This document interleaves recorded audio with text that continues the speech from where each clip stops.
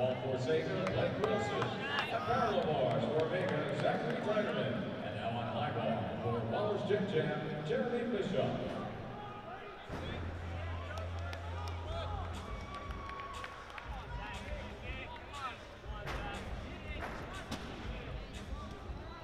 Blake Wilson of Sega, high ball. Up next on ball for Hawken Valley, Tyler Rockwood.